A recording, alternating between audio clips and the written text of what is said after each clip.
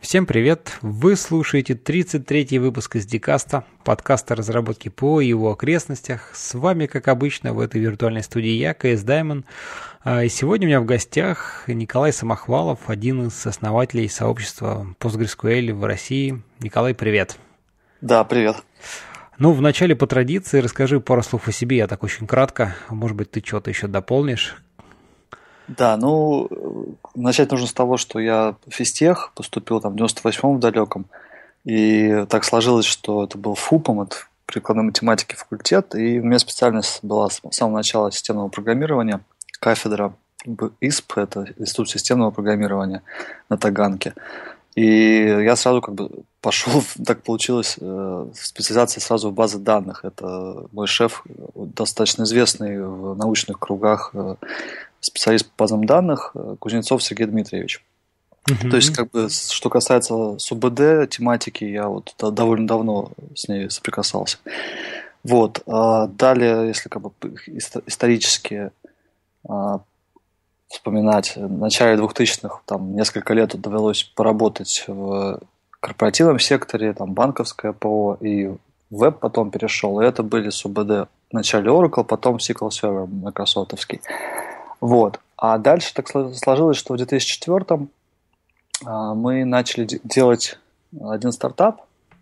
Это была исторически первая социальная сеть «Мой круг».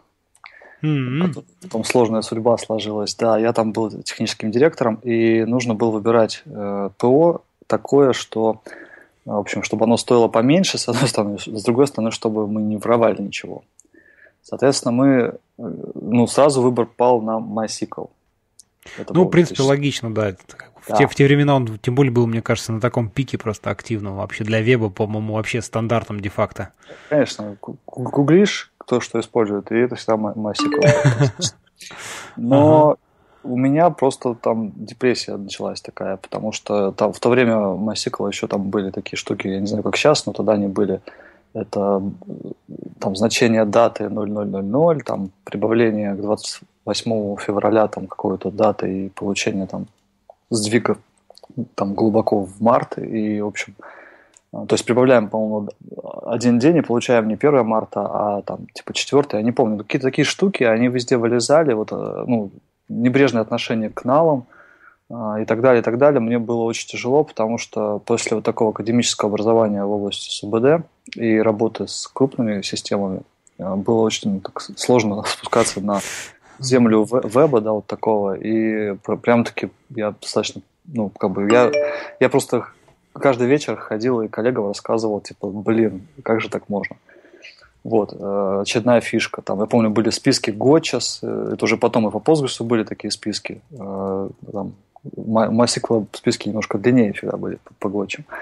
Вот. И, и там всякие шутки, что это не баг, а фича, это бога-фича и так далее. Mm-hmm. Ну вот, и тут, тут так получилось тоже, что в команде появился человек, который был из МГУ, из астрономического института, и он э, стал продвигать идею использовать Postgres. Мы как бы, ну, посмотрели, и практически за один день был переписан код э, очень быстро. Слушай, ну это, это что, это семерка, наверное, еще была, или уже восьмерка? Что это? Нет, это был, по-моему, сложно вспоминать, на самом деле. Ну, это уже была восьмерка. То есть это был, наверное, 2000, начало 2005. Я уже сейчас с трудом вспоминаю. 2005 год уже шел. И, а, ну кажется, да, это, это скорее уже восьмерка, да. Угу. Да. И, в общем-то, Postgres мы быстренько переписали, и, то есть, грубо говоря, там кавычки, вот эти вот перевернутые кавычки MySQL надо было заменить двойные, там еще какие-то штучки. Мы, мы так как это был MySQL, мы же ничего такого тяжел, тяжеловесного не использовали, типа триггеров и хранилок. Поэтому особо ни с чем с плохим не столкнулись. А, единственное, что сразу был, я помню очень техническую такую штуку, что э, запросы к метаданным стали сильно тормозить. Ну, то есть у нас там система, она э, опрашивала опрашивала с ОБД, какие там у нас есть таблички. Ну, то, ОРМ была такая, да, самописная. Угу. Вот это вот, да, это был как бы сразу такой минус Postgres, что запросы к метаданным тормозят. Ну, в общем, грубо говоря, это все легло в мемкэш, и дальше, дальше наступало счастье за счастьем, потому что мы получили нормальные хранимки, к которым я привык за предыдущие годы с коммерческими системами. Триггеры, вьюшки и так далее. Вот, ну, то есть, как бы, счастье, конечно, было не полное, то есть, грубо говоря, там вьюшки, они не обновляемые, это понятно, в то время еще были, сейчас они, конечно, в прогрессе обновляемые, ну и так далее.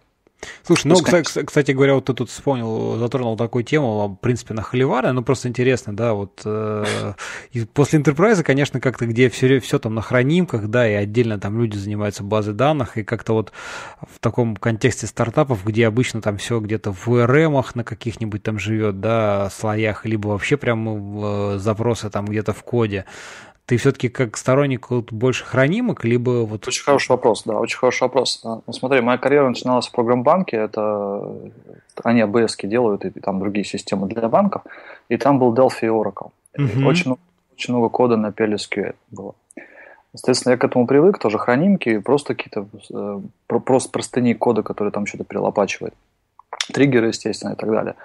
А, и когда я дальше пошел в веб, мне вот так вот посчастливилось, что я попал в компанию, в которой была необычная связка PHP плюс SQL Server. Угу. И там все, там был сильный DBA, он писал все на хранимках. И мне это очень нравилось, потому что с данными была строгая работа, и обработка данных была ближе к самим данным. И, в принципе, меня, ну, я вокруг слышал много раз, что хранимки это плохо, это не масштабируется и так далее в то время, это середина 2000 начало даже 2000-х, и потом уже середина. Uh-huh. И когда я уже начал делать мой круг, я, я как бы сразу подумал, мы в MySQL, там хранимки вообще никак. Будем делать urm и рассчитывать на то, что будем масштабироваться. Не, не будем мы, в общем, в, в СУБД ничего такого тяжелого делать. Но сейчас, вот сейчас у нас 2015 год, Э, я, в общем-то, я вот прямо сейчас занимаюсь переводом книжки, которая называется э, «Серверное программирование для Postgres». И мне очень нравится эта концепция. Единственное, что не нужно увлекаться, когда, когда мы э, занимаемся обработкой, то есть мы превращаем сервер СУБД практически в application сервер, частично, да, много там делаем, но не нужно увлекаться, потому что если мы там, допустим, делаем какие-то запросы внешних API, это уже не очень хорошо, потому что мы занимаем бэкэнд СУБД, какой-то не особо, ну, работы, которая может э, длиться долго, зависит от внешних факторов. И это не очень хорошо, потому что если такая штука, ну, бэкэндов займется много, да, то есть обычные задачи по, по выдаче каких-то по обработке каких-то простых селектов они уже некому будет делать. Ну, тут, кстати говоря, знаешь, ты сразу две очень интересных таких вопросов затронул, да. А вот смотри, первый это как бы, ну, я тоже, скажем так, придерживаюсь мнения, что RDBMS, коим является там Postgres, не знаю, Oracle, там MS SQL, да, они, ну, суть Relational Database Model там сервера в том, что у него есть реляционные связи данных и их обработку, там какую-то, я не знаю, агрегацию, да, там, не знаю, вот все, смысл выносить на клиент, когда есть сервер, который заточен под именно эти задачи, да, ну как бы вот... Э, ну, поэтому... традиционный смысл заключается в том, что если у вас такая обработка, она тяжелая, то можно подключить 10 application серверов, э, и они с одним, с одним сервером СУБД будут легко справляться. Но сейчас э, огромное количество задач можно делать там, в, в рамках 100 миллисекунд. И не нужно далеко гонять данные, заниматься маршалингом данных и хорошо это все держать. Просто нужно понимать, что а, не стоит вот а, с, с внешним миром ос, особенно общение в базе делать. Потому что в Postgres это можно, там есть куча языков программирования, на которых вы можете хранимки писать. И вы можете много чего понаписать, и э, если там есть работа с внешним миром, это плохо. Все остальное, если это обработка тех же самых данных, просто нужно оптимизировать, делать это очень быстро, ну, зажимать, и все будет окей. То есть э, сейчас много ядер, много памяти. И ну так далее. да, да, да, да, да. А вот второй вопрос тоже, знаешь, который такую тему ты затронул, что вот э, база данных, они так, ну, явно не явно превращаются, знаешь, в некое вот эм, подобие, ну, не то что подобие application сервера, а, скажем так, грань между application сервером и базами данных, она становится все тоньше и тоньше. Мы вот там про это я в предыдущих выпусках много разговаривал, там и с Костей Осиповым про Tarantool, да, и там вот, да. да, и там Nginx, который там с Lua, который вот как бы некий сервер, который может прям тут очень быстро там асинхронно слазить куда-то в базу, которая прям здесь вот и сейчас, да, то есть что-то быстренько выдать и, э, то есть действительно это как бы очень такая интересная концепция, которая, мне кажется, набирает очень сильно оборот. Ты вот как про это что думаешь? Ну, я же говорю, я перевожу книжку не просто так, потому что мне эта тема очень интересна, и я считаю, что это перспективное направление, хотя оно, как бы, в моем понимании, оно давно существует, просто сейчас, наконец-то, мощности позволяют э, э, так делать больше, да, и угу. технологии подразвелись тоже, там куча разных, в Postgres огромное количество способов индексации есть, то есть мы можем данные вы, вы, выбрать очень эффективно, тут же с ними поработать и выплюнуть уже кусочек, э, результат с одной стороны, э, готовый, с другой стороны, какая вещь? То есть э, старый подход, когда у нас application сервер работает с тоненькой СУБД, который только занимается хранением надежным и выдачей сырых массивов данных, но с другой стороны он готовит большой ответ HTML и отдает его браузеру, который тоже тоненький, ну, старый подход, да, когда там только HTML пришел, и тут же страничка это показалась, а JavaScript где-то сбоку. Он сейчас уходит ведь э, в прошлое не только со стороны СУБД, он и со стороны JavaScript и, и клиентов уходит. Да, тоже. да, конечно, конечно. Потому что технологии такие, как React.js, а, мобильные приложения, которым требуется API, которые, которые многие компании хотят иметь некоторые единые и для web-application ов своих, и для mobile-application ов.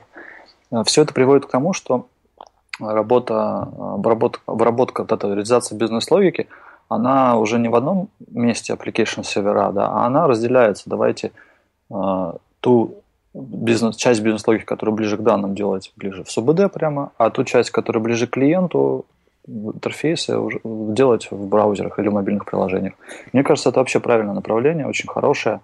Ну, тут без фанатизма, конечно, есть вот говорю, как задачи, которые связаны с внешними данными, дерганием внешних API или там сохранением каким-то сайзом картинок внешних, опять же, да. Тут, конечно, лучше э, рассчитывать, ну, не в базу засовывать все это. А, ну да, да, это, конечно, вот как бы, ну, мы вот почти во всех базах как бы есть там возможность написания каких-то там UDF, ну, хранимок э, там на каких-то сторонних языках, там на C, там где-то на там Java, да, и прочее. Есть возможность общения с каким-то там TCP-шной, то есть там открывать сервисы, но, по-моему, все-таки сейчас, э, ну, и до этого тем более, как-то эти возможности не сильно востребованы, все же народ, э, ну там по старинке, не по старинке, но вот взаимодействие это выносит куда-то там на application сервер уровень и так далее. Ну, верно. Вот, вот э, еще раз возвращаясь к Postgres. В Postgres можно хронимки писать и на C, и на Java, и на PHP даже, хотя это не очень. На Ruby, на Python. Это хорошие, кстати, хранимки будут на Python.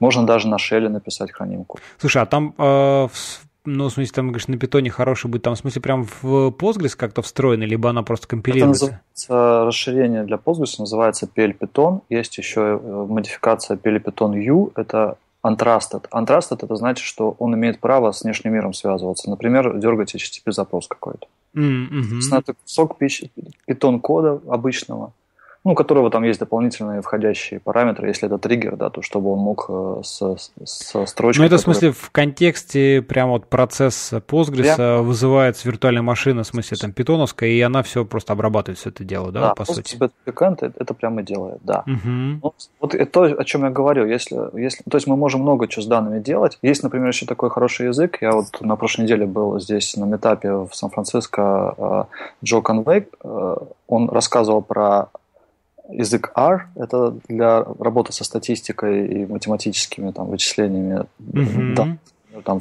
финансовый там, анализ биржи и так далее. То, есть расширение, которое вот он разрабатывает, PLR для Postgres, и можно взять какой-то кусок программы, написанный на R, который, например, рисует график и выдает PNG-шку или JPEG наружу. И прямо в Postgres засунуть, и она просто по этим данным нарисует нужный график, который в базе лежат, и выдаст наружу Э, бинарный э, ответ, это будет картинка. Mm-hmm. Дальше, дальше у него там был маленький кусочек на PHP, который просто в браузер выплевывал, да, но mm-hmm. это можно чем угодно кусочек. Ну, ну да, конечно, ага. Вот, и, соответственно, это очень прикольный такой кейс, когда мы э, там, ну, используем разные языки, ну, опять же, вот это вот правильный подход, когда мы... Это, это работа с ближе данными. Да, несмотря на то, что мы картинку делаем, но мы это все делаем ближе к данным, и это очень круто, потому что, наоборот, мы, мы не занимаемся маршалингом, мы прям тут сидим, вот они там данные по сети не гоняются и так далее. А вот кейс, когда вот у меня недавно был кейс, когда нужно было, грубо говоря, краулер даже практически сделать, хотя ну, то есть возникла идея даже пойти там написать хранимку, которая будет наружу лазить, э, анализировать страничку, выдирать ключевые слова и класть. Но это плохой кейс, потому что вот э, я только что в Твиттер запостил э, ссылку Феди Сигаева, которая это в HTML виде полная грамматика Postgres 64 мегабайта.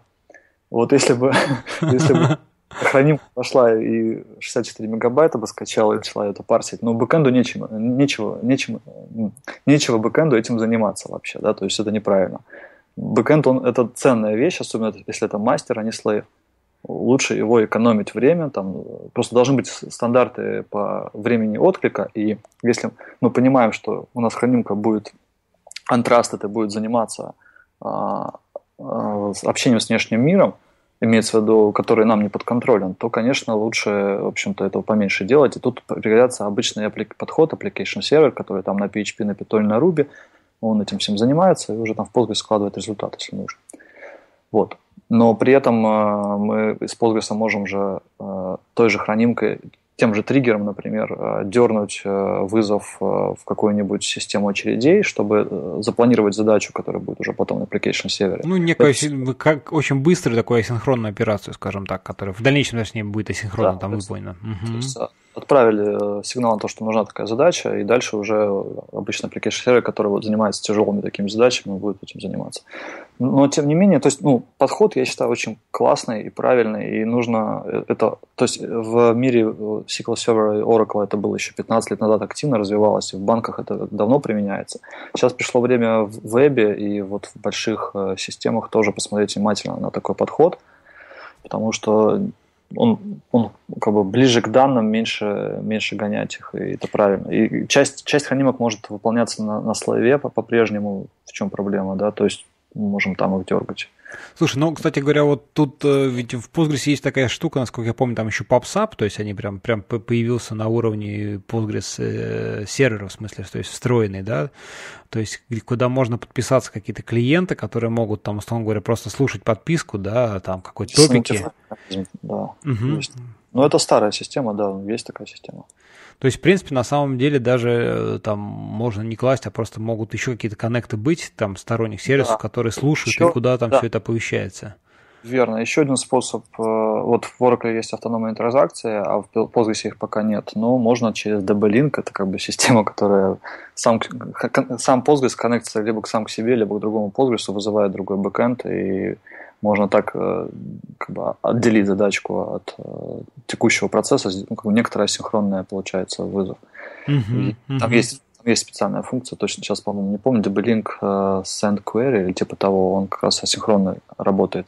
Есть еще PGQ разработка Skype, пока их не купил Microsoft, они активно использовали Postgres и очень много вложились в, в Postgres. А, PGQ – это система очередей синхронная, которая прямо на Postgres работает. То есть это хранение в Postgres очень эффективное, и, допустим, в Яндексе ее используют, в Яндекс.Почте.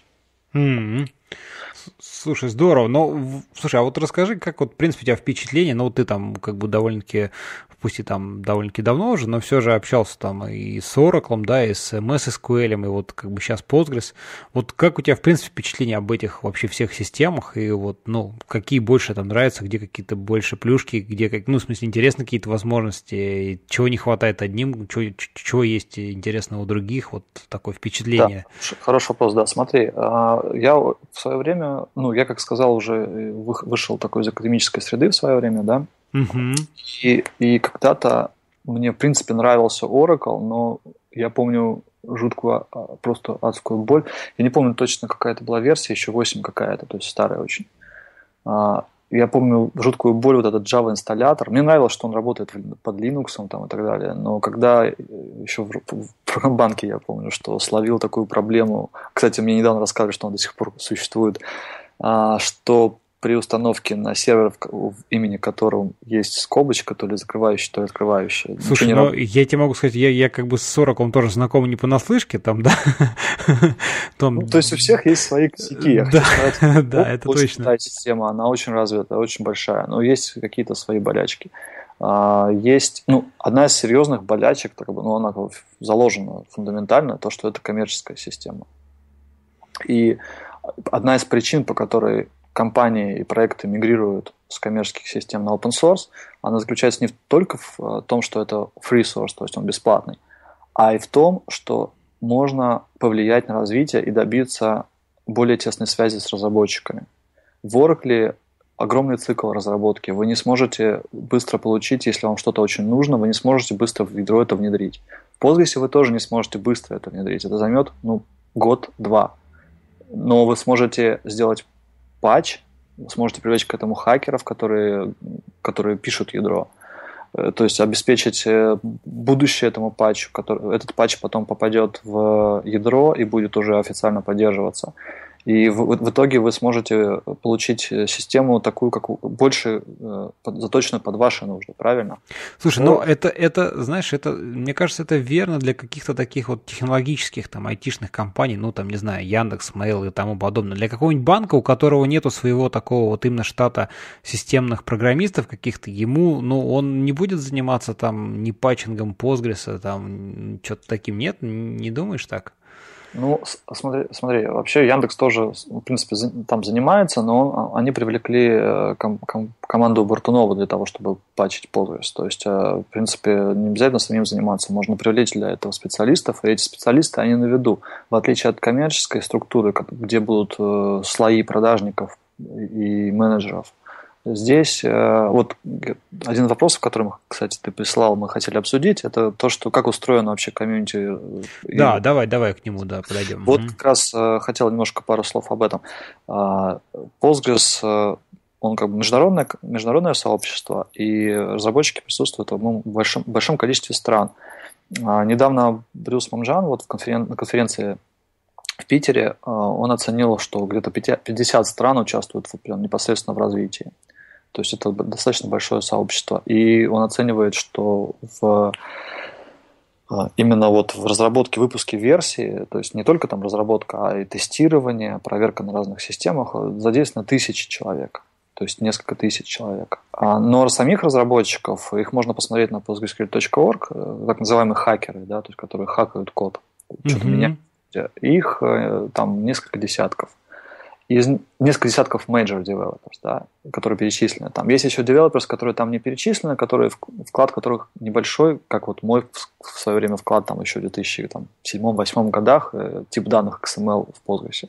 То есть я поэтому там не причислен, потому что это было такое одиночное, одиночное вложение – а те, кто регулярно это делают, э, меняют код, они там перечислены их несколько десятков.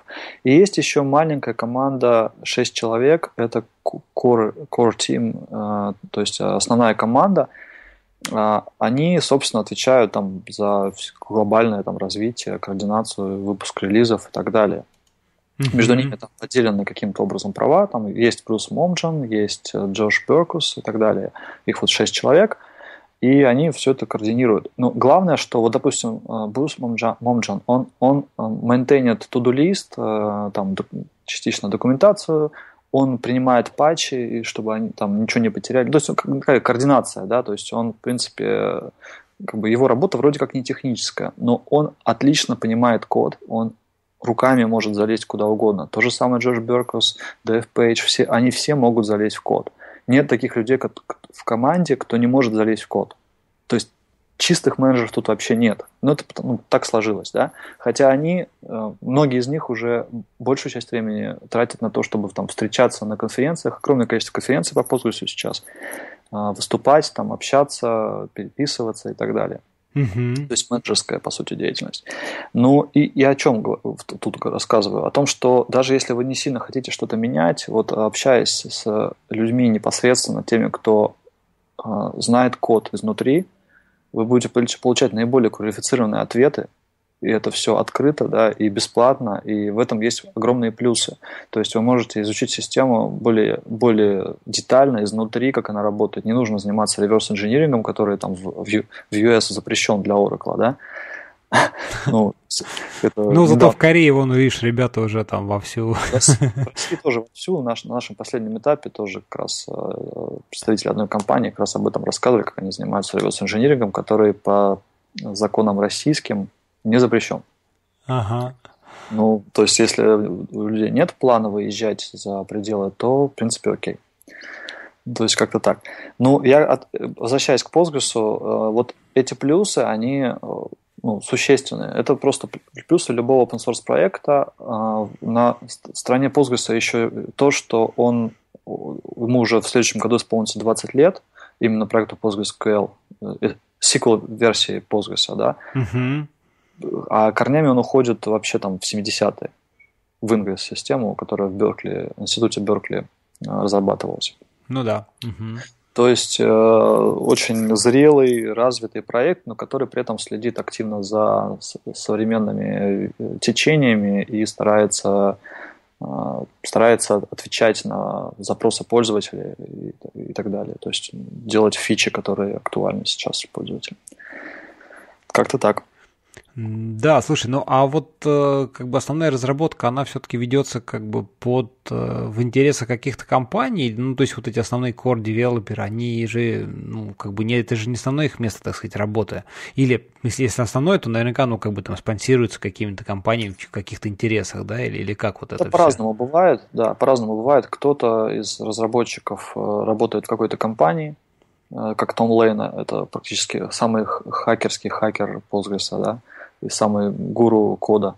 А, он недавно пришел из одной компании в другую. Кто-то работает э, там, либо независимый консультант, либо основал свою компанию, как э, наши российские разработчики а, Олег Бартунов и Федор Сигаев, Александр Коротков. У кого-то компания по э, поддержки. Э, ну, как обычный консалтинг, который, соответственно, они да, там, допиливают в интересах уже и в том числе, так сказать, Да, да то есть обычно отталкиваются, конечно, от практики, от э, нужд пользователей, и просто из вакуума ничего не берется. Смысла тратить свое жизненное время на это нет. То есть э, решаются задачи, которые кому-то очень нужны.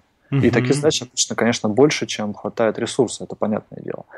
И тут всегда побеждает та задача, на которую люди готовы либо деньгами вложиться, либо кому-то просто очень сильно хочется продвинуть это и, общем-то, угу. как-то так.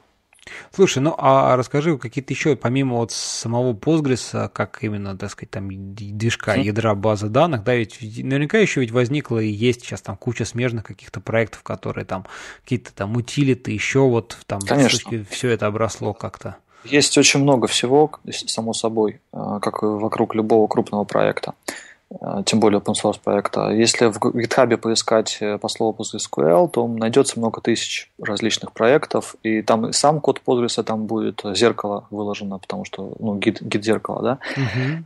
Будет много всего тоже. Вот я уже упоминал скайповские инструменты. Один из них э, используется повсеместно, это своего рода Nginx Postgres, он называется PG Bouncer, то есть это тоже такой мультиплексирующий прословичка, которая позволяет э, обрабатывать запросов намного больше, чем у нас есть процессоров, да, то есть можно кучу бэкэндов держать и при этом не тормозить условно, да. Uh-huh вот PG Bouncer. Дальше у них есть, он входит в состав SkyTools, насколько я помню, там есть еще система старая логической репликации, основанная на триггерах Лондеста. Также вот я упомянул тоже от Skype PGQ, это система, а, а, система очередей, это своего рода аналог RabbitMQ или там какие у кого-нибудь ActiveMQ, который достаточно продвинутый, и он работает в Postgres, то есть он данные хранит ACID, то есть в отличие от того же RabbitMQ, у которого если там полмиллиона или миллион событий засунуть и их там постараться подержать денек-другой, то там ему поплохеет, то здесь ничего такого не будет. Ну, то есть э, задержки могут начаться, но, по крайней мере, он не будет падать, как RabbitMQ делает, да, и не будет ну, то есть ACID, да, понятно, что все ну, данные... Ну, ACID, да, конечно. Угу. Да. А далее есть э, различные компании, с них стоит упомянуть различные проекты open source, например, PostGIS, это геоинформационная ну, PostGIS, кстати, да, вот один из таких, э, с точки зрения там геоинформационной, мне кажется, в Серьезно? open source один из самых серьезных, да, таких вообще. Ну, он как бы выбор по умолчанию. Если вы хотите работать с карточными данными, э, то это очень крутая система. Она очень давно развивается, и ее многие используют. Насколько я знаю, Дубльгис ее используют в России и так далее. Далее есть, э, например, от компании Simon Rix называется Second Quadrant. Есть система мультимастер BDR называется. Да, BDR, да, мы, мы сейчас у себя его немножко исследуем, но там, конечно, не все еще так хорошо, ну, но они такого вот... Молодой очень, да. У них еще есть э, достаточно интересный инструмент для управления бэкапами, бэкапами там, для восстановления. Это Бармен называется, его в скайпе тоже используют. Ой, в скайпе, в Яндексе используют. И Володя из скайпа как раз, скайпа из Яндекса недавно рассказывал на метапе, э, если зайдете на страничку наших метапов, там есть ссылочки на видео. Он очень подробно рассказывал про как вообще правильно готовить бэкапы э, для Postgres, и там было очень интересно. Есть такие штуки, как вот на последней конференции Highload были представлены, например, э, такое интересное решение для кластерное решение от компании Zalando. Оно тоже open source, называется Spilo, это по-грузински э, слон.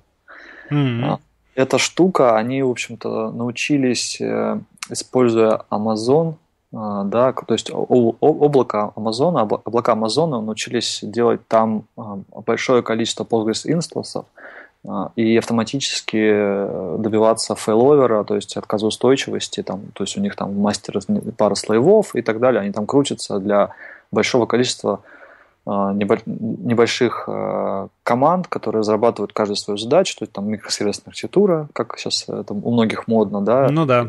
Много разных сервисов, у каждого свой небольшой Postgres, и дальше все это варится и управляется вот этими там штуками, которые, а, которые позволяют спать спокойно DBA, админам, и не бояться, что там все сломается. Это, на самом деле, это сейчас кластерных решений, это сейчас самое модное направление, которое в Postgres, э, как бы, самое серьезное направление, как в свое время была репликация. Вот в свое время, когда мы э, с MySQL у нас холивары были, и, и тогда Postgres, конечно, проигрывал, потому что не было встроенной нормальной репликации. Сейчас эта проблема решена очень хорошо и по, мне, по, по мнению многих лучше, чем MySQL она решена. Ну, репликация а, имеется в виду там всякие вот мастер-слейв именно, да, что-то да, такое? Да, встроенная бинарная репликация, да, а, мастер-слейв. Но сейчас вопрос, да, встает, как дальше жить в плане большого количества instance ов, когда у нас много машин, как мы, как мы, как мы масштабируемся там горизонтально, вертикально. И второе, как мы э, управляем всеми этими делами в плане выхода из строя этих машин, когда машин много, они там могут довольно часто ломаться, как, как мы диски научились менять, да, там быстро, так мы должны учиться менять им машины, ну, failover устраивать, да? Ну да, да, да. Служивать. Соответственно, вот эта горячая тема, и сейчас э, очень большие силы брошены на, в мире, на, в мире Postgres на решение этой задачи, там сразу пять команд в разных странах этим занимаются, они стараются там договориться, это, в частности, вот команда Олега Буртунова тоже этим занимается. А, ну, есть еще хорошие всякие утилиты для администрирования, всякие помощники, в том числе от компании PostgreSQL Consulting, а, Максима Богука или Космодемьянского. У них там набор всяких э, инструментов э, для DBA, там, для анализа то, что сейчас прям в базе происходит, для понимания там, и так далее. Все это можно тоже в GitHub найти, как правило. Ну, в общем-то, призываю э, подписаться на мой твиттер, он называется Postgresman. Ну, мы, да, мы в конце все ссылочки обязательно, да, приложим. Да, и практически чуть ли не каждый день какой-то новый проект появляется, я обязательно делаю ретвит или твит, и можно следить за миром Postgres и смотреть там на русском на английском постоянно какие-то статьи, и новые проекты выходят. Очень много всего, и растет это все очень быстро. Ну да, слушай, ну давай еще, знаешь, какой момент мы не затронули. Вот э, там всякие Oracle и MS SQL мы вроде как вспомнили. Ну, тут сейчас еще там тренд небезызвестный, там новые SQL решений, да, всяких, такой какой-то хайп, ну, можно так сказать. Ты вот вообще как сам относишься ко всяким там, э, что там у нас даже приходит в голову NoSQL штукам, монгам и прочим, да, вот. И как они вообще относятся? Tarantool не будем упоминать. Ну да, не будем, ладно. Tarantool единственная российская СУБД, NoSQL СУБД, да, там, единственная разрабатываемая в России. Э, не знаю, как на самом деле, может быть, не единственная. Но, в общем-то, да, насчет, насчет NoSQL это такой вопрос немного сложный, потому что, с одной стороны, э, если следовать э, заветам Майкла Стоунбрейкера, который основатель там, Ингриса, Postgres и много чего еще, то one size fits all это вообще-то неправильно, и давно уже, это было правильно там еще, может быть, 15-10 лет назад, а вот начиная там где-то с конца нулевых годов, это уже совсем неправильно, и нужно каждый, каждому, каждой задаче свой инструмент в плане СУБД. Это, я не знаю, мне кажется, что это хорошая концепция, которая позволила ему обосновать безумное количество его а, новых проектов, и он такой получился классный э, серийный предприниматель в области СУБД. То есть все эти там C-Store, H-Store, там SciDB, VoltDB, Vertica и так далее. Ага. Но если отталкиваться от практики, вы сейчас прям можете пойти на Hetzner и заказать сервер там в пределах 200 евро с терабайтными, 2 терабайтных диск, SSD-диска у вас там будет. Соответственно, памяти там будет там 64 или даже может быть 128, я точно не помню, гигабайт. А, процессоры там тоже будут, там, не знаю, 12 ядер, там, по-моему, будет. Я вообще-то вот, ну, сложно представить, да, для крупных проектов, для огромных проектов окей, нужно что-то другое, но вот с таким, с таким оборудованием, как сейчас мы имеем, не использовать Postgres, а использовать Mongo, которая на одной машине тормознее явно. И это ну, показывают больш, большинство тестов э, показывают. Я не понимаю, почему вы должны там думать о каком-то там шардировании, масштабируемости в начале, когда вы начинаете какой-то новый проект и думаете, что у вас база будет э, несколько терабайт. То есть на SSD-диске вы можете положить до терабайта прямо сейчас вот на этих дешевых серверах. Э, там же в этот же сервер втыкается еще то ли 6 терабайт, то ли сколько-то дополнительных SATA э, дисков, которые вы можете с помощью процессионирование вынести свои медленные данные, какие-то там складывать логи. Ну да.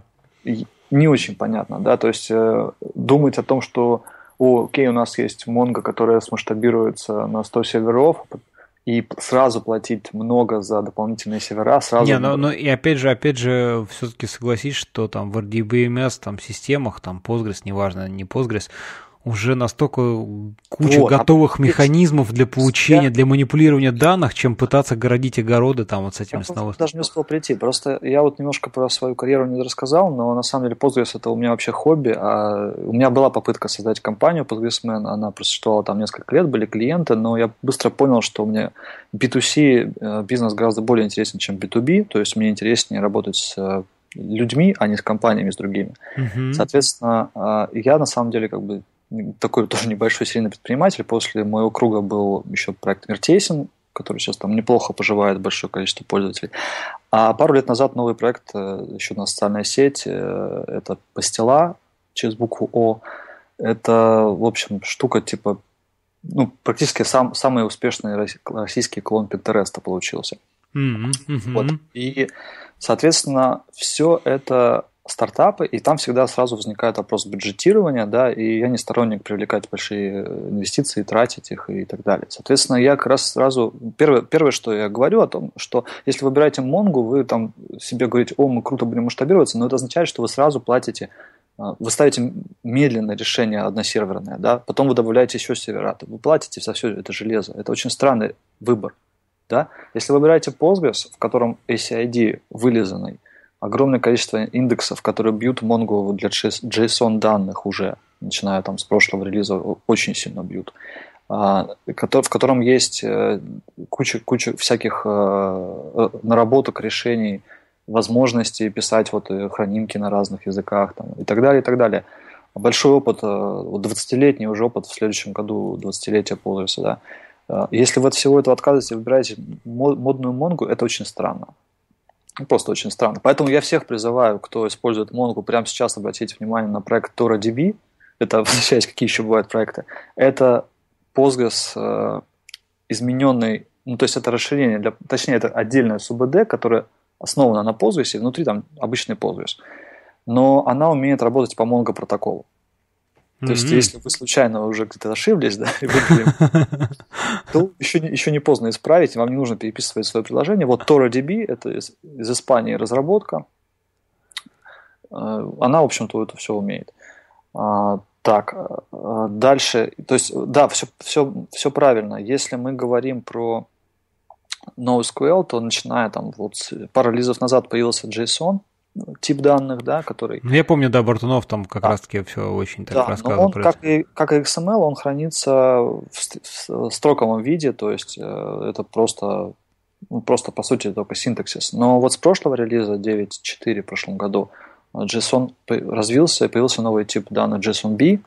Он хранится бинарно, соответственно, там более богатая индексная поддержка, и там, если вы это используете, обратите внимание, что есть разные можно покрутить за ручки для этих индексов и добиться того, что, допустим, индексы там, в 10 раз меньше станут. Потому что по умолчанию, грубо говоря, индексируются все данные, а вам, может быть, нужно только кусок, какие-то конкретные пути. Ну, конкретный, да, путь, ага. Да. Но причем, не, не, если конкретный путь нужен, то вы можете обычный B3 построить. Это функциональный индекс, который просто э, вычисляет э, значение, которое лежит по этому пути для каждой строчки в табличке, и дальше индексируют, как будто это в каждой строчке обычное там число или строка, да. Ну, то есть, ну, как бы B, B3 над какой-то, каким-то выражением. Ну да, конечно, ага. Это понятно. А, а то, о чем я говорю, это более крутые вот модификации джина, этого инвертированного индекса, которые позволяют индексировать не, не все, а только какие-то а, под куски вашего, ваших JSON-документов, которые хранятся в каждой строчке таблички, да, и для, это позволяет и быстрее индексировать, и сокращать а, размер индекса. Вот. А, да, JSONB критиковался в 9.4 за то, что нельзя там а, нет такой функции, которая там меняет какую-то часть JSONB выражения, да, Сейчас в 9.5, вот, который скоро выйдет, это уже есть. А когда, кстати говоря, вот планы по 9.5? Ну, это всегда очень... Э, ну, примерные такие. такие. Планов не объявлять не из-за каких-то там, как коммерческих организаций, а из-за того, что еще там тестирование не до конца доведено, там не дошло. Угу. А, ну, в общем-то, может быть, в декабре. Хот, mm, хотят есть... успеть, но на самом Хотят деле... даже где-то в этом году, слушай, здорово. Мне просто как раз интересует, потому что там 9.5, там они обещают же BDR, да, так сказать, туда уже более-менее в каком-то таком виде осознанном. Ну, насчет этого я не очень в курсе, но, но э, там BDR на чем основан? На логическом декодировании, которое э, это как бы такая, такая API к э, валу, да, и вы можете, в принципе, по-моему, с 9.4 он тоже уже доступен. Ну, ну то есть... в виде патча, да, 9.4 плюс патч. Угу. Да, да, да, да, да. Ну, да, да, 9.5, да. Ну, то есть, я думаю, что да, это интересная вещь. И можно вообще свои писать э, системы репликации и выплевывать данные в разные другие системы практически бесплатно для Postgres. То есть не на триггерах, а именно разбирая валы. Ну да, потому что да. там, если говорить там про триггер, то вот это как там букардель, да, как, как так называется штука, которая...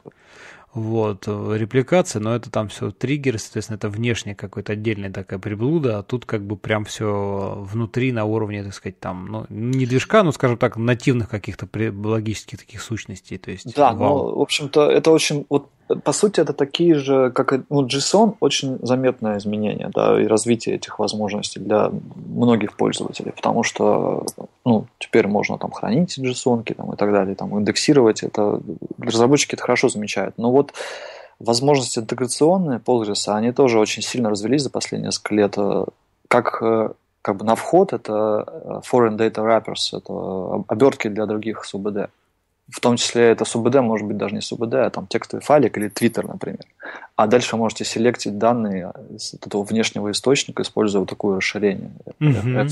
FTW. Так и на выход. Вот эта вот штука, логическое декодирование, она позволяет то, что происходит в Postgres, транслировать куда-нибудь, например, в ту же какую-нибудь систему очередей, там, в кавку какую-нибудь. И дальше уже данные там э, как-то обрабатывать. И это даже без хранимок, да, то есть вот мы обсуждали, что можно в триггеры посылать задачу, а можно вот с помощью логического декодирования вообще бесплатно практически для, для Postgres, то есть нагрузка никакая не создается, потому что это берется просто в записи с вала и транслируется куда-то наружу. Вот, и запросы ваши никак не, не, не, не становятся более медленными. Ну, ну да. В общем, да, это все очень ну, очень многообещающе. Ну да, поживем увидим, но вообще очень круто, да, все это развивается. Ну, кстати говоря, вот про развитие, знаешь, сейчас как бы в России там э, всякие, в связи с последними событиями там в стране, да и темой там всякие импортозамещений, да, вот ты как-то не замечаешь так, э, ну, всего так сказать, своего там общения с многими разными там и компаниями и прочими, э, как народ стал вот в основном, то есть вот это, мигрировать с каких-то, ну, собственно, вот на одном из предыдущих метапов, да, как раз-таки вообще такая актуальная тема, это миграция с разных других там enterprise систем в сторону Postgres. Угу. Как вообще компании, вот, то есть как-то они раньше об этом особо не задумывались, а сейчас все-таки как-то так начинают на это посматривать, даже, даже банки, которые, в принципе, всю жизнь как бы, да, там жили на, Ора, на Ораклах, и прекрасно себя чувствовали, а тут что-то как-то, значит, э, начали хвататься, а как, как быть, и как-то посмотреть в сторону Postgres. Ну да, э, очень даже замечаю. Э, я комьюнити рестартовал в сентябре прошлого года, и с тех пор мы вышли там на третье место, почти тысяча человек у нас на meetup.com. А, и во многом это благодаря вот возросшей, возросшему интересу к Postgres, который теперь, в общем-то, то есть не бывает худо без добра, и санкции, на самом деле, здесь помогли э, обратить больше внимания на open source. И если раньше, вот как обычно происходит, я ну, достоверно знаю, что Oracle всячески и Microsoft всячески умасливают крупные компании и менеджеров, которые принимают решения э, разными способами, например. Они могут э, свозить там в Сан-Франциско техдира, да, погулять там, на конференцию, на, недавно у них какая-то там несколько десятков тысяч человек конференция. Ну, у них это ежегодная, самая большая, собственно говоря, Oracle Open World, которая в Сан-Франциско, да, да, проходит, ну, огромная. В общем, э, это как взятка не назовешь, но это грамотный ход с точки зрения продаж. Э, и раньше компании, конечно, там э, они смотрели там на какие-то другие решения, но если какой-то менеджер крупной компании, то пусть он попробует какое-то дешевое, там, непонятное open source решение выбрать, и его голову оторвут. Лучше он выберет самое дорогое решение, чтобы сказать, что я выбрал самое крутое решение, у нас в компании используют самое крутое решение. Сейчас же, по сути, получили большой пинок а, в плане того, что нужно отказываться от зависимости от э, американских, прежде всего, компаний коммерческих, и это сыграло в плюс Postgres потому что очень большое количество компаний уже либо перешли, либо в процессе, либо присматриваются. Я не знаю, какой этап ты упоминал, но вот на последнем этапе в Mail.ru, который прошел, а, там была центральная тема переход с одной известной СУБД Я, я, бы, я в Mail.ru, к сожалению, не был, я был на предыдущем, э, но там тоже, собственно, эта тема поднималась как раз. Да, она поднималась, это, это, был, это, было, это было как бы один, одна встреча, а вот э, та встреча, которая в Mail.ru, она получилась такая прям, ну, достаточно э, крупная, потому что выступало сразу шесть докладчиков, и трое из них представляли конкретные кейсы компании, например, выступал Банк Москвы, у них собственная АБС самописная, и они уже протестировали ее на Postgres и, в общем, в процессе активного э, внедрения. Да. Ага. Далее э, выступил человек из э, России сегодня, это РИА Новости. Э, и они уже перешли. Ну, то есть там у них много разных проектов, но многие проекты уже переведены крупные, то есть основные. Угу. Уже на Postgres, и там как раз у вас, если на метап зайти, на meetup.com нашу группу зайти, то там обсуждения и конкретные там железо, цифры называются. Там же ссылки на слайды, на видео, можно все посмотреть. Ну, собственно, вот э, эти кейсы, они интересные, да, я точно знаю, что Postgres э, используют вот в компании, которые по-прежнему участвуют в Oracle конференциях, они уже, многие из них активно используют Postgres, либо присматриваются, тестируют внутри очень крупные в том числе. Многие из них просто не говорят это публично. Ну, я не буду тоже называть, просто никого там не обижать. Ну, Но да. я точно знаю, что они продолжают выступать на Oracle конференциях, докладывая про какие-то крутые решения, которые они сделали на, на Oracle, там, какие там 11G или какой сейчас там. Ну, сейчас 12 уже C, соответственно, да. Я отстаю в Oracle, конечно. А они параллельно пилят разные, там присматриваются к Postgres. Да, конечно, у Postgres много чего еще не хватает, но сейчас активно это наверстывается. То есть я имею в виду инструменты, э, связанные вот с кластерными технологиями, там, э, с масштабированием, а, а также с одной стороны, с другой стороны, не хватает гуев различных, да, то есть э, понятное дело, что не все любят консольку. Многие признают, что PSQL намного приятнее, чем оракловый SQL+, правильно там называется? Ну, консольная утилитка, ага. Да. Ну, SQL+, Но... знаешь, SQL+, это самый подстава, вот это, когда привыкаешь, что там стрелочку вверх, ну, там, предыдущая команда, а SQL+, по умолчанию этого не умеет, надо через URL в RAP вот это все, ай, ужас это. Погоди, кто не умеет? Но SQL Plus по умолчанию у него биндинги вот на клавиатуру нормально не работают, надо через URL в RAP там его пропускать, чтобы все вот это... Пфф, ну, он еще, наверное, просто вообще издалека смотрит, он под Windows, наверное, давно когда-то делался, и все да это... фиг знает, уже тысячу лет, да, он, мне кажется, особо и не переписывался. Как, да. да, но все-таки вот кто-то любит э, покликать мышкой, там все понять, посмотреть. И в, в этом плане в Postgres э, явно страдает от нехватки э, инструментов различных. Но, опять же, это все тоже наверстывается. Вот недавно, пусть коммерческий, но в том числе ну, неплохой инструмент от э, JetBrains вышел, который хорошо Postgres понимает хоть и не без достатка. Это ты имеешь в виду, который их среда для разработки баз данных, вот это Nolix, там, DB? Они как идеи DBA позиционируют, то есть и то, и другое, то есть там и поадминистрировать можно и хранимки понаписать. Угу. Называется, по-моему, 0x. Ну, я говорю, 0xd, вот это что-то там. Угу. А, ну, в общем, очень надеюсь, что они будут Postgres компоненту там а, активно его развивать. Вот. Ну, в общем, большое количество организаций в России сейчас присматриваются. Это большой-большой тренд. Ну да, мне кажется, это и как раз-таки в принципе, и подстегивает еще больше э, интерес там, с точки зрения разработчиков, ну, в смысле, возможности там где-то кто-то каким-то консалтинговым компаниям как раз-таки mm-hmm. больше в, вкладывать в развитие непосредственно Postgres. Ну, да. за счет, за счет того, что есть как бы потенциал и клиенты, которые там сейчас активно смотрят, и им требуется какая-то там и консультация, и какие-то там наработки и так далее, и так далее. Ну да, у нас традиционно сейчас вот, э, можно сказать, есть две компании в России. Одна это Postgres Pro э, Олега Бартунова и его, его команды.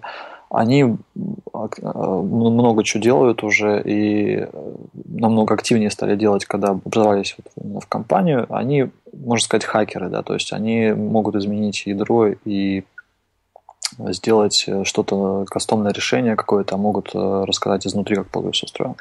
А есть компания PostgreSQLConsulting.com, Илья Космодемьянский, Максим Багу. А, я бы их позиционировал больше как э, DBA, то есть администратор баз данных, опыт именно такой инженерный, эксплуатационный. Да, но есть... они, они тоже, у них, я вот там смотрел их всякие доклады там с Highload, они очень глубоко прям понимают, как все да, там да. эти индексы, память, как, чего, куда, где что подкрутить, как ИО, там вот очень интересно, да, поскольку это, это всегда вот такая тема очень есть, важная. конечно, пересечение, но по сути это, как, э, грубо говоря, это как разработчики и админы, да, вот есть, есть между ними какая-то философская разница, да. Ну, ну да. Наверное, как-то и здесь тоже похоже, наверное. Хотя, конечно, если, не знаю, если кто-то из, из э, представителей компании будет меня слушать, они могут там тоже обидеться, ну, не обижайтесь. Ну, это мое личное мнение. Да не, Я не могу... Все... Я не коммерческая, да, не, не мы, коммерческая. Yes. Мы, мы крайне позитивно смотрим в одну и в другую сторону, так что да, я думаю, они не обидятся. А, слушай, ну еще тема, которую мы с тобой так э, затрагивали все время как-то вскользь, это вот в принципе правового сообщества, и ты как э, такой активный участник и вот сооснователь да, сообщества, собственно, PostgreSQL Russia, вот э, расскажи, ну, во-первых, интересно, как в принципе вот э, что тобой движет, почему ты решил как бы организовать, ну или там принять такую активную часть, вот в это поддерживаешь там каждый месяц или там регулярно стараешься проводить какие-то метапы, вот. Ну и в принципе, как сообщество живет вообще, что там происходит. Ну, изначально я в 2007 там, году был одним из основателей э, этого сообщества, и нами двигало очень сильно такое чувство несправедливости, как так такая классная система э, получает такой недостаток понимания. И мы хотели просто поучаствовать э, и сделать так, чтобы систему больше людей узнали, и она, она лучше развивалась просто после вот перехода моего круга с MySQL на Postgres. Угу. Сейчас, э, сейчас у меня немножко другой интерес. Э, я просто, на самом деле, какое-то такое хобби получается. И мне просто интересно э, побить группу в Сан-Франциско и в Нью-Йорке и выйти, вывести московскую группу на первое место. Сейчас мы на третьем. Ну, я помню, да, как ты как раз вот там, на по пред, пред, предыдущем, так сказать, позапрошлом рассказал, что вот мы на третьем месте, ура, там все дела, ребята, идем вперед. Ну да, я об этом так мало задумывался до тех пор, пока вот э, разработчик Тора DB, вот Альвара, он мне в Питере об этом не рассказал, он практически при знакомстве сразу высказал мне, что я тот самый нехороший человек, из-за которого он теперь не может писать, что мадридская группа на третьем месте. Да, вот. А, соответственно, я вот уже в Сан-Франциско на прошлой неделе тоже выступил с маленьким докладом и уже пообещал, что мы их побьем, потому что у нас темпы развития намного лучше, и у нас все шансы в следующем году стать больше, чем в Сан-Франциско. А у них насколько большое оно? 1100 с чем-то человек. Э, ну, в общем, а, а у них очень старая группа, там, э, там намного больше событий было. То есть они там с 2006 что ли года работают. Mm. И у них очень классно, вот чего не хватает нам, это стабильности. То есть из- из-за того, что, а, допустим, если смотреть э, на будущее, да, то, допустим, из-за того, что э, эти метапы организовываются не компанией, а, а человеком, там, энтузиастом, да, они как бы не исчезнут при исчезновении, там, при прекращении какой-то инвестиции. Но они подвержены некоторому там, настроению и усталости. Да? То есть, если я чувствую усталым, то возникает пауза, и не хватает, может быть, какого-то помощника, который, может быть, Слушай, ну а вот э, как бы только ты один, либо все-таки есть еще да, как, бы несколько? А, ну вот это, конечно, да, да. Я просто провожу аналогию там вот с Moscow JS, где я там, не сказать, что потом нас Андрей, конечно, там э, сломать на основной организатор, но есть, как уже сформировалась кучка, мы, знаешь, очень активно работаем над тем, чтобы именно расширить само ядро. То есть, да. чтобы, чтобы запустить этот процесс был не такой вот личностный, ну, то есть, когда какой-то двигатель, там, вот один-два человека, да, который, значит, толкает это вперед, а чтобы запустить вот эту машину, когда некая группировка, ну, там, ядро, скажем так, да, вот это, этого сообщества, оно бы само как творилось, и всегда были люди, которые готовы были подхватить, помочь, и вот, вот, вот в этом, мне кажется, направлении очень важно работать. Да, я думаю, что это в скором времени наступит, и я думаю, что мы будем с кем-то вместе это делать, или там с несколько человек присоединяться. Но я, я просто на самом деле жду, когда, может быть, устаканится вот этот э, ландшафт полурисовый, там компании образовываются, там что-то меняется, да, и после этого уже пойдет какая-то более такая спокойная работа mm-hmm. в плане, в комьюнити. Понятно. Слушай, ну расскажи немножко просто о планах, какие там ближайшие вообще метапы планируются и ну, что-то еще такое. Ближайшие метапы, я вот как раз хотел тебя задать, знаешь ли ты, как сделать, э, э, чтобы можно было транслировать э, YouTube, видео и одновременно экран, то есть как бы два объединить в трансляцию. Ну, это отдельно я тебя спрошу, может, быть нет. А, в общем-то, мы хотим сейчас провести вебинар, то есть онлайн-метап практически, который присоединиться кто угодно в России, не обязательно в России, русскоязычный. И, наверное, сделаем это через две недели. Анонса еще нет, но скоро, прям в ближайшее время будет. И он будет рассчитан больше, опять-таки, на новичков, я потому что чувствую, что по опросам, на самом деле, огромное количество людей э, только-только начали использовать Postgres или только присматриваются. Это все равно актуальная тема, как бы нам, э, так сказать, старичкам не казалось, что это все уже пережевано, пережевывать надо еще раз. А ну, дальше угу. у нас с компа... с... был недавно пост на Хабре от компании Тинькофф Банк, и а, они рассказывали про то, как у них устроена система аналитики. Так, у меня вылетело из головы. Есть вертика, а есть вторая э, основанная на Postgres система. Ну, я вот тоже вертику помню, а вот э, а. другую что-то тоже вылетело. Которая недавно стала open source. Так. А, да, я немножко подзабыл. Ну, неважно, да, сейчас вспомним, скажем. Да, ну, в общем, э, фишка в том, что система стала open source, и теперь это еще более стало интересно именно Postgres комьюнити. И а, мы... Э, так, как же она называется? Она еще принадлежит компании EMC в итоге, там через группу поглощения, через э, цепочку поглощения, которую недавно купила Dell. То есть там, там монстр съедает монстра. Ну да, да, я тоже помню эту новость. Да, там... ну, в общем, а, возможно, будет метап, который, если там компания EMC посодействует, mm-hmm. сделаем про это, потому что такие системы, которые вышли из Postgres, они на самом деле хороши тем, что у них практически тот же синтаксис, да, там и, и так далее, и так далее. А, и та, та же вертика, насколько я помню, она до терабайта вообще бесплатна. И у нас вот на Хайлоуде был как раз доклад как-то раз, что э, вот там простой инструмент для того, чтобы данные перекидывать из Postgres в эту вертику и дальше анализировать их там. Угу. А, так, ну это вот такой есть э, преанонс, да. Дальше у нас есть э, предварительная договоренность с Авито, повторить у них э, там одно из двух, либо про полнотекстовый поиск, либо про систему очередей как раз. Они активно используют PGQ, хотя и Rabbit, и RabbitMQ тоже, и там хороший может выйти разговор. А дальше у нас есть предварительная договоренность, конечно, с Postgres и, скорее всего, где-то ближе к весне мы тоже планировали сделать э, событие. Может быть, поговорим про их кластерное решение, которое центральное в их работе, я считаю, самое интересное, которое э, что, что они там делают, это, мне кажется, было бы очень интересно всем послушать. Да, слушай, это мне тоже кажется будет очень-очень интересно, как бы такие ну, штуки. В общем, в общем, на самом деле, я думаю, что к тому времени, как наступит весна, у нас еще какие-то появятся. Я всегда призываю там, всех э, подумать, э, может быть, им есть что рассказать интересное, либо полноценный доклад, либо короткий доклад, э, доклад, близ доклад, да. Угу. Да, кстати, вот всякие сайты, которые СМИ, они, многие из них тоже на Postgres, и там тоже есть договоренности предварительные, но надеюсь, что вот помимо недавнего выступления России сегодня тоже они подтянутся. Слушай, EMC это не Green Plum, который, нет? Green Plum, точно. Да, Green Plum. Угу. Да. Вот. Ну, Green Plum сейчас. Green Plum это название компании. Ну а да, продукт, который у них там.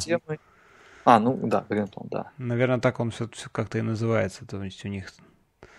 Да, да, да, да, да, да, да, все правильно. Green Plum принадлежит EMC, EMC принадлежит теперь уже теперь уже принадлежит а, Dell, да? То есть, да, да. Как в свое время с MySQL случилось, как он оказался у Oracle. Ну да. Да, ну вот э, Greenplum, он стал open source, там он не полностью, там существенный кусок еще не open source, но уже, уже хорошо, уже можно скачать и попробовать. И это, они долго к этому шли, еще в феврале объявили, что они это сделают, и вот недавно только это завершилось процесс. Несмотря на какие-то там поглощения, они это сделали. Вот. Так что это тоже интересно, практически из мира Postgres система, которая стала open source и которая позволяет выстраивать серьезные аналитические решения, вот, которые, например, используются в панке Тинькова. Это очень такой классный кейс. Вот. Да, слушай, прям много всего насыщенного. Что ж, будем следить за новостями. А, спасибо тебе, что пришел. Было очень клево и интересно пообщаться. Прям столько всего, так сказать, послушать про разные упоминания проекты. Прям надо будет составить потом список обязательно в шоу-ноты, добавить ссылки на всякие вот э, штуки, да, которые... Обязательно. Обязательно, да, не забудем, заодно уточним, как он именно все же называется, оно или не оно. Да, я уже уточнил, все правильно. Все правильно, вот, отлично. Ну спасибо, что ж, да, спасибо еще раз тебе. Вот, э, друзья, всем спасибо, что были с нами и до новых встреч. Пока-пока.